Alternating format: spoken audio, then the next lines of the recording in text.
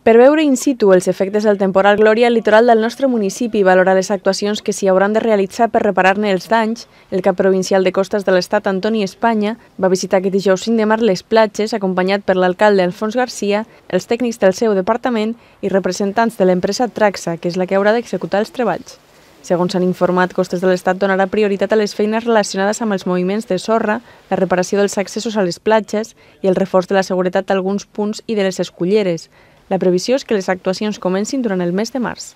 Possiblement a Setmana Santa encara no ho tindrem tot acabat, però l'objectiu és que a març, abril, maig eh, poguéssim fer totes les actuacions que hem acordat amb l'Ajuntament,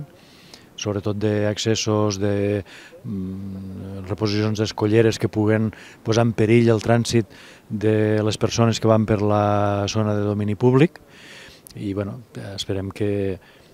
per, per sort, a Hospitalet el volum de danys no és important, jo crec que en poques setmanes ho podrem tindre tot eh, enllestit. Així, el cap provincial de Costas va visitar les platges de l'Almadrava, el Torn i l'Arenal i va qualificar els danys ocasionats pel temporal Glòria com de grau mitjà dins del context dels desperfectes causats a la demarcació de Tarragona. També va destacar que els arranjaments que es portin a terme hauran d'estar preparats per a les conseqüències del canvi climàtic.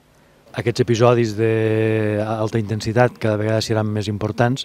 i aquelles actuacions que féssim han de tindre la garantia que tindran una certa perdurabilitat amb el temps. No? I aquí eh, tots han de fer un esforç de reflexió i de, i de visualització que, del que ens ve,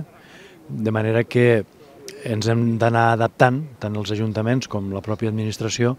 eh, i en aquells punts on veiguéssim que no té sentit actuar perquè no tinguin garanties d'aquesta perdurabilitat, doncs no, més val no fer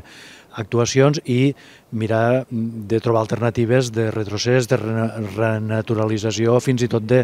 de retranqueig de, de, de les infraestructures que tenen en aquests moments. La tasca desenvolupada tradicionalment per costes de l'Estat era la de moure sorra per tal d'efectuar la reposició de la que s'hagués perdut, però amb els desperfectes del darrer temporal haurà d'anar més enllà. Fonamentalment el que es tracta és de que es facin infraestructures de més abast. De més abast vol dir de que la seva actuació serà, la inversió serà més elevada, però també tindrem un resultat per més anys. No? Aleshores el que cal és que des de l'Almadrava doncs, fins a la punta del riu, totes aquelles zones d'escolleres, totes aquestes zones es reforcin, es consoliden, per tal, sobretot, diguem-ne, de que després l'arena s'hi pugui arrelar i per tant doncs, es puguin descalçar de forma tan ràpida i puguin afectar sobre els passejos marítims, sobre la ronda litoral o sobretot el que és el passeig marítim. Eh, evidentment, doncs, ara el que ells faran és l'avaluació l'avaluació d'aquestes despeses i després doncs, esperem que en curt termini, en tres mesos, doncs, puguem fer la immensa majoria d'aquestes actuacions. Tot i així, una bona part de les tasques necessàries per a restablir la normalitat a les nostres platges ja s'han portat a terme. El que estem agraïts és que els serveis municipals han estat capaços de respondre amb temps i amb, i amb esforços suficients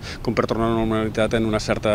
premura de temps i de forma doncs, molt efectiva. Eh, és evident que encara queden, per rematar doncs, alguns aspectes menors i que s'aniran fent, però és evident que d'alguna forma es va tenir una capacitat, una iniciativa eh, de reacció molt forta perquè en molt pocs dies i en una setmana doncs, es pogués tornar a la normalitat. Nosaltres això ho hem quantificat aproximadament en algo més de 200.000 euros, però evidentment també és cert que aquí eh, doncs, hi ha doncs, maquinària que hem hagut de, de llogar a empreses externes i també sobretot és eh, molta despesa nostra, falta material i encara per tant és un, és un capítol obert. Des de l'Ajuntament s'estan estudiant les diferents línies de subvencions que hi ha disponibles per part de l'Estat, la Generalitat i la Diputació per intentar recuperar els recursos que el consistori ha hagut d'utilitzar en les feines de reparació de les instal·lacions.